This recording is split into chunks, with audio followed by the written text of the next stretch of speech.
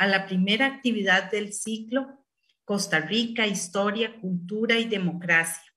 Este ciclo nace con el propósito de continuar ofreciendo conferencias y conversatorios sobre la historia patria, posindependencia y algunos otros temas muy importantes, como el tema de la esclavitud con la cual iniciamos hoy.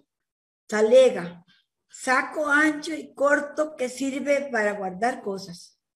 Dos talegas, por ejemplo, podrían contener 225 pesos en plata. Suma que aquí y cerca, que aquí cerca y hace mucho tiempo, Cartago, siglo XVIII,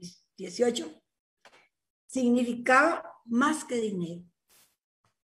Fue criada en la casa de sus dueños con bastante cariño.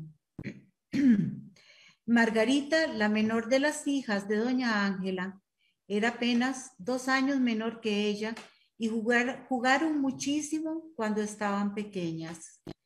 Doña Ángela le enseñó a leer y escribir en su regazo, como lo hizo con sus otros hijos.